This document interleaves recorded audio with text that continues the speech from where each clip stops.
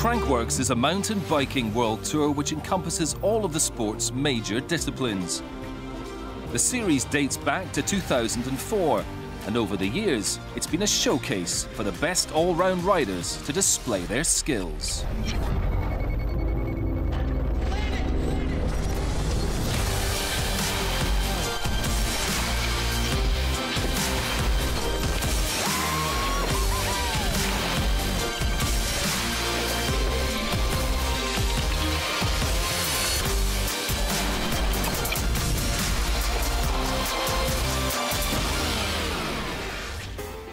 The four-stop 2018 Crankworx series got underway in Rotorua, New Zealand.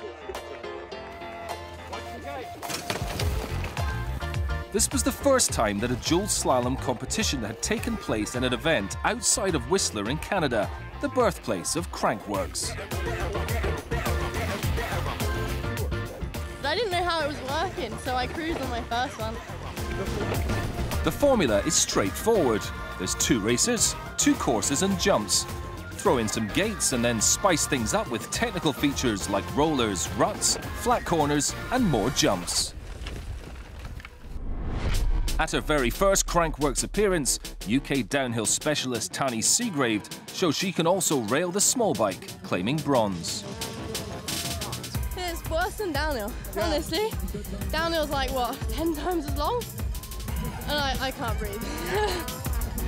US BMXer turned downhill biker Kialani Hines used her explosive speed to claim silver. I really like the track, so I'm a little tired, but it's uh, really fast and fun. I just was like, be consistent and fast, and then try to stick with Jill as much as I could. It was the reigning queen of Crankworx, Jill Kintner, who emerged victorious here in Rotorua. In the process, the American extended her dual slalom winning streak to six. Yeah, this is like maybe one of the sprintiest slaloms I've ever been in. Like it's pretty flat. You got to like pedal everywhere and really concentrate because there's not much in it, you know. So. The men's dual slalom event had all the close calls and close racing you'd expect from such a high-quality field. And there were some surprises too, such as the reigning king of Crankworx Adrien Loron of France, not making it into the round of four. Luca Cometti claimed third place, whilst fellow American Kyle Strait, maybe benefiting from his new personal dual slalom track at home in California, took silver. I wasn't prepared for the amount of sprinting that was here, so I wasn't really expecting too much, but to come out in second, I'm super stoked. And coming out on top was Czech rider Thomas Slavik you're entering those turns so fast, so you need to really calm down, brake, and go through it, and then start pedaling for the finish line. So that's the kind of a key to take home there. Everyone was here, and it was. It's always nice about Crankworx that we all meet at one race at Wilsland, for example, and we race against each other. It was good fun.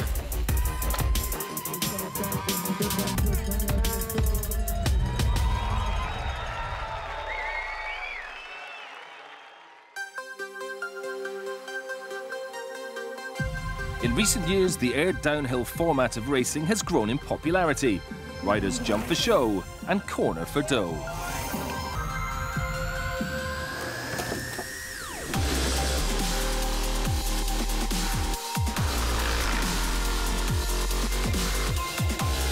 You need to be fast, low, and preserve momentum. Staying away from the brakes and pedaling at every opportunity is the path to the podium.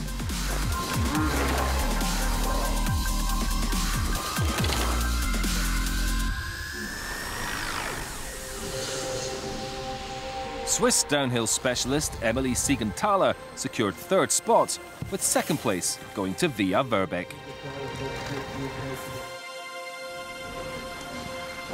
It was the Canadian's second Crankworx podium here in Rotorua, and she could be in the mix for this year's Queen of Crankworx.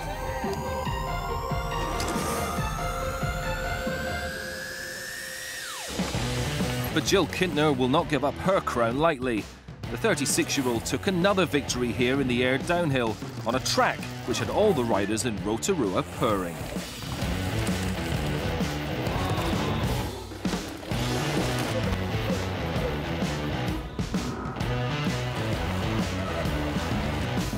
It's pretty fun, super fast at the top, actually insanely fast, and then a lot of like um, tight corner too, and so it's a mix of crazy fast and uh, good jump.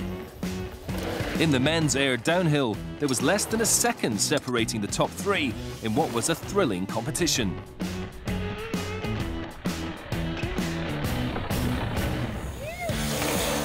Czech rider and former king of Crankworx Thomas Slavik powered into third. Home rider Matt Walker claimed second. And 34-year-old Mick Hannah showed that when it comes to riding bikes downhill fast, age is just a number, with the Aussie finishing in first place.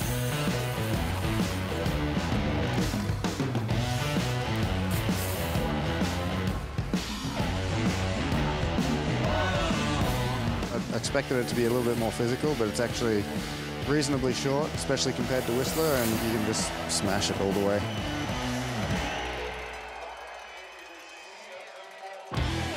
Under the lights, the Whip-Off Championships took place.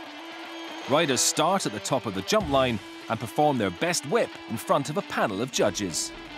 The whip, derived from motocross, is the action of kicking out the back end of a bike sideways over a jump. Uh, you know, it's a big old party out there, just boys getting sideways, upside down, every which way. This thing is the most fun jump, I think, on the planet.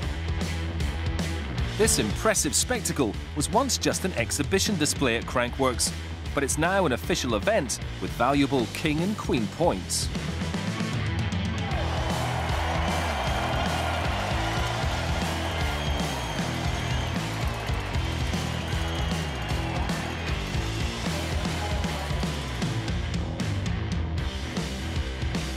Whip-off proved hugely popular with the excitable Rotorua crowd.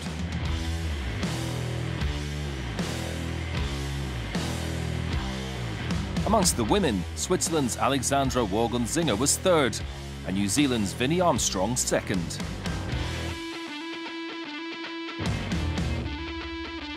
Canada's Casey Brown took home her fourth whip-off title, maintaining her undefeated status in this particular event.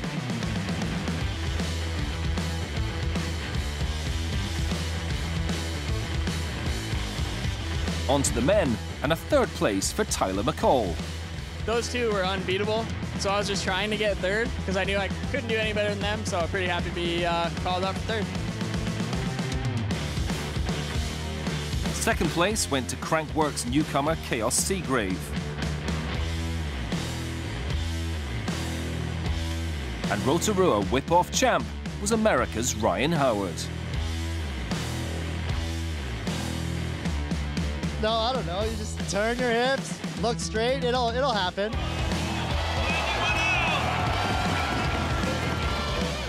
So the 2018 Crankworx season got underway with some incredible action.